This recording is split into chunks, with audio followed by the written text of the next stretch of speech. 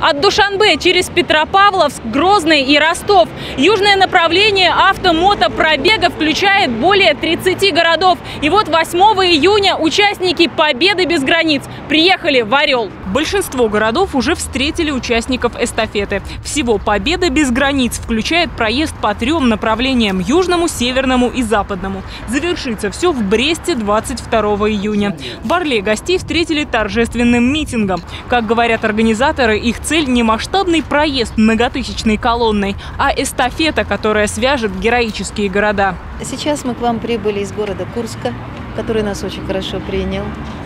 И сказал, что сейчас вы едете в Орел, вас обязательно встретят замечательно. И так оно и произошло. Мы очень рады, что мы у вас. Программу в каждом городе они формируют, советуясь с местными. И даже имея в запасе совсем мало времени, в Орле можно увидеть многое. Конечно, очень хорошо, что они посетили город Орел в год 75-летия освобождения Орловской области Орла от немецких захватчиков. И, конечно, сейчас им обязательно нужно посетить наш музей Диораму, посетить обязательно, я бы на их месте посетил Кривцовский мемориал. Это самое крупное воинское захоронение на территории Орловской области.